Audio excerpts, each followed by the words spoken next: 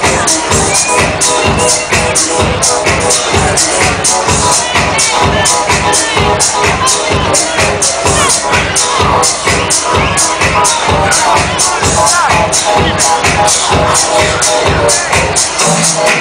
Let's get to it.